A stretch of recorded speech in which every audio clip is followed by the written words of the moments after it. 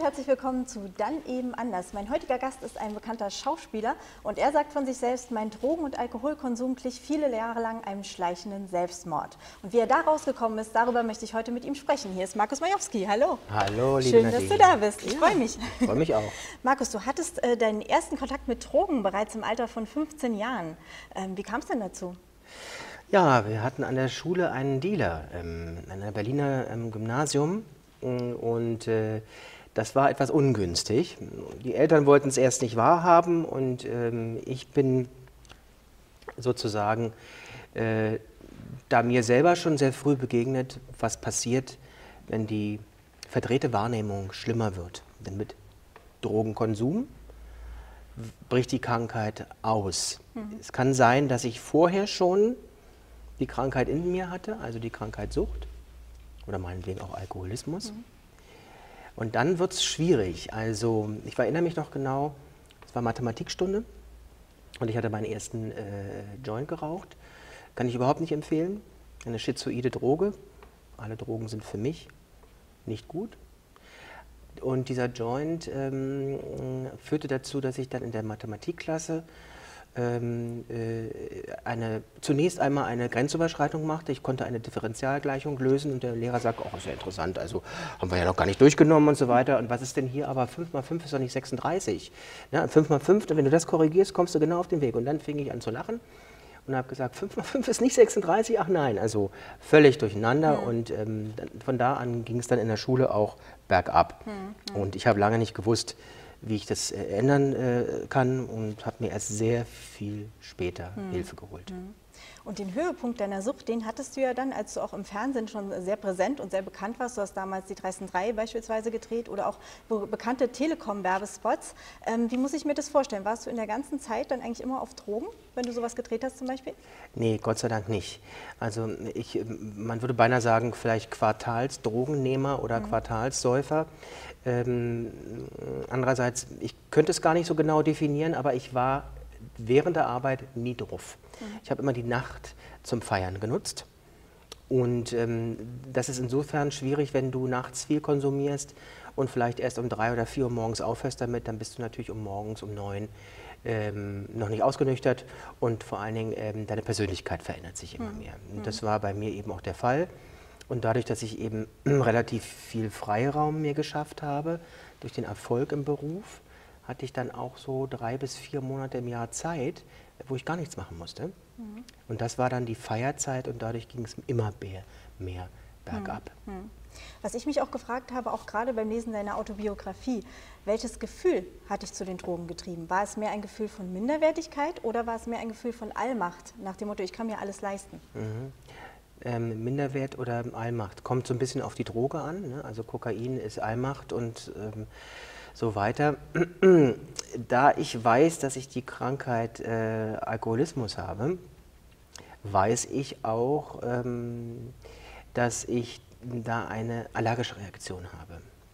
Das heißt also, wir, die wissen, dass wir diese Krankheit haben und uns ein bisschen damit beschäftigt haben, wissen, dass vor allem eben dieses nicht aufhören kann, sich dicht machen, die Folge einer allergischen Reaktion ist. Und insofern kann ich sagen, dass ich psychisch dachte, der Alkohol und die Drogen wären mein Freund. Die machen mich entweder stärker oder ruhiger oder eben überlegen. In, in Wirklichkeit war das aber eine Begegnung, die irgendwann schief gehen musste. Denn da ich die Krankheit habe, ähm, führt sie entweder zu Gefängnis, Anstalt oder Tod, mhm. weil das, es gibt, wenn man das, diese Krankheit hat, dann gibt es kein gepflegtes Konsumieren, sondern ein schleichenden Selbstmord. Mhm.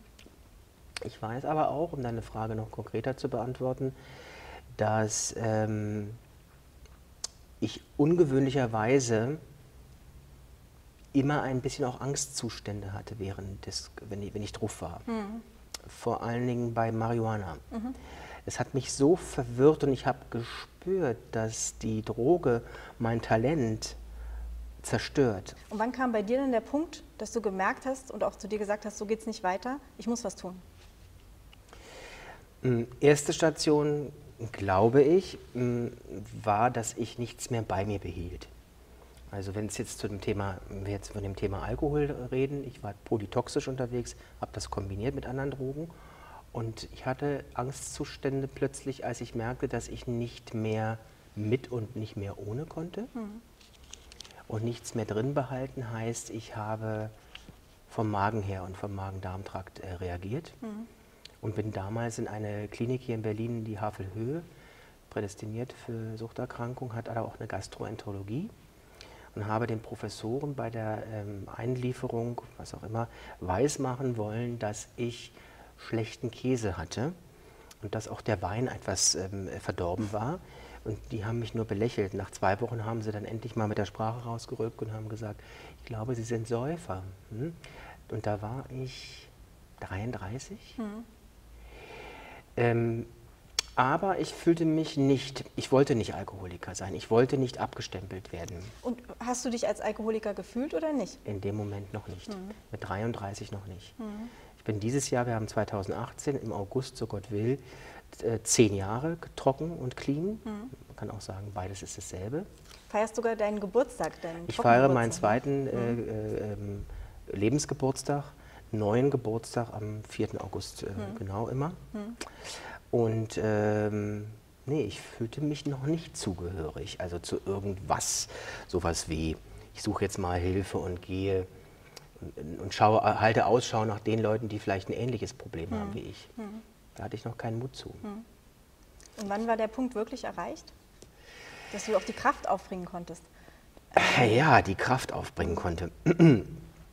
Die, die Kraft konnte ich erst aufbringen, als ich keine Kraft mehr hatte. Und dann habe auch ich nie, die nicht aufgebracht, sondern ähm, das, zu dem ich gebetet habe. Ich also sage, in dem Fall Gott? Ja. Mhm.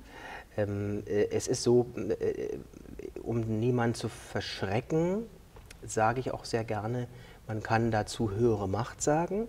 Man kann auch erstmal so tun, als ob man zu etwas betet. Hört mich da jemand? Ja? ich, bin, ich kann nicht mehr jetzt, hör auf, mich zu malträtieren oder wenn es dich gibt, Gott, dann hilf mir jetzt oder so eine Sachen. Und ähm, ich muss dazu sagen, ich war zu diesem Zeitpunkt am 4. August 2008 bereits in der, in der, bei den anonymen Alkoholikern aufgeschlagen. Und auch also eine Selbsthilfegruppe. Eine mhm. Selbsthilfegruppe, mhm. genau. Also die Selbsthilfegemeinschaft, die Zwölf-Schutte-Gemeinschaft der anonymen Alkoholiker. Wie bist du da hingekommen? Ähm, ich hatte vorher eine Klinik ähm, aufgesucht, eine, ähm, um eine Therapie zu machen. Und da hatte mir der Professor genau diesen Satz gesagt, es ist, glaube ich, ganz gut, Markus, wenn Sie an Tische sich setzen, wo Leute sind, die das gleiche Problem haben mhm. wie Sie. Mhm. Und das war das Gute. Ich bin damals in Ostfriesland, oben in Oldenburg und Rostrup in mein erstes äh, Zwölf-Schotte-Meeting gegangen. Mhm.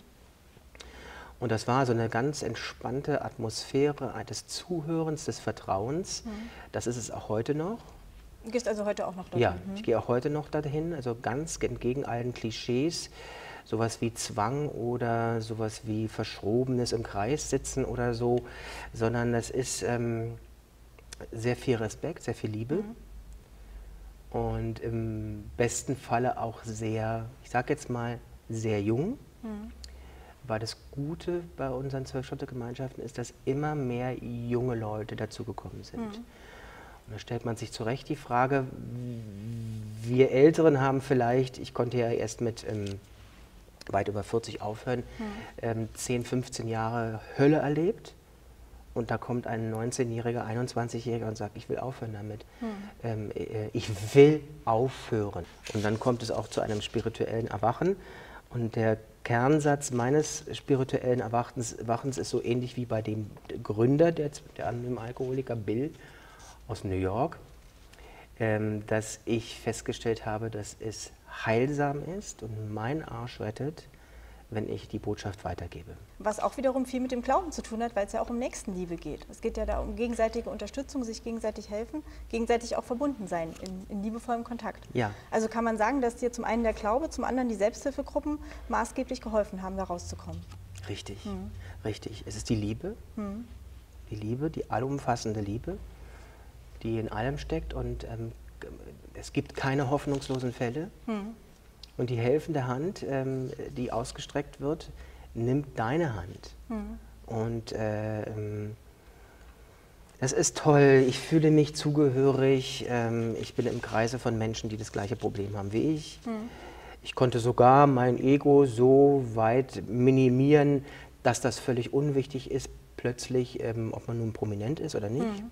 Es hat ja auch nie jemand was äh, über dich verlauten lassen. Niemand weiß äh, über deine Probleme aus einer Selbsthilfegruppe. Also das ist auch ein, ein Kreis äh, und alles, was gesagt wird, bleibt auch in diesem Kreis. Exakt, hm. das ist die Garantie. Mhm. Und zu Beginn deines Showreels ähm, äh, sagst du einen Satz, äh, den du von Wilhelm Busch zitierst. Äh, Liebe ist der Inbegriff, auf alles andere pfeifig. Ist das jetzt auch dein Lebensmotto? Das ist vor allen Dingen das Lebensmotto, glaube ich, desjenigen, nämlich Wilhelm Busch, der in dem Moment das geschrieben hat. Hm. Mein Lebensmotto ist nur für heute. Hm. Auch ein, ein, ein, Spruch, den man auch ja. äh, aus der Selbsthilfe hat. Ne? Ja. Äh, also mir fällt jetzt auch ehrlich gesagt hm. nichts Besseres ein, aber hm. das ist das, was mir mein Leben gerettet hat. Hm. Und äh, was wir noch gar nicht erwähnt haben, wir haben ja hier noch einen dritten Interviewpartner, der allerdings das Interview verschlafen hat. Wer ist denn das? Das ist Tobi. Ja. Tobi ist ein Havaneser, er ist zehn Monate alt mhm. und der kommt sogar auch mit in die Meetings. Ähm, äh, ähm, und mhm. Tobi ist von Hause aus ein Therapiehund. Ach, schön. Hm. Also das heißt, du machst auch heute in deinem Alltag ähm, immer noch wieder Dinge, äh, die deine Therapie und deine Genesung unterstützen, weil es genau. ja ein genau. stetiger Prozess ist wahrscheinlich. Einmal das. Mhm. Und ähm, ähm, wir gehen eben auch, wir machen Service in Krankenhäusern, in, in Suchteinrichtungen. Und wir gehen dahin und wir erzählen von unserem Leben. Und es sitzen äh, ein paar Süchtige, die etwas für sich tun wollen. Mhm. Und dann stellen wir AA oder NA vor. Mhm. Und der Tobi wird mit mir ähm, mit ziemlicher Sicherheit eine Ausbildung machen, sodass, wenn ich ihn mitnehme in solche Einrichtungen, wo es dann nicht nur um Sucht geht, sondern vielleicht auch um ähm, Sterben und Leben oder Leben wegen einer anderen Krankheit, mhm. dann kann man mit diesem Hund schmusen, man kann ihn in den Arm nehmen. Das ist der Sinn eines Therapiehundes. Mhm. Das heißt, er ist nicht nur für mich da, sondern ähm, Tobi verschenkt sich auch an andere Menschen. Schön.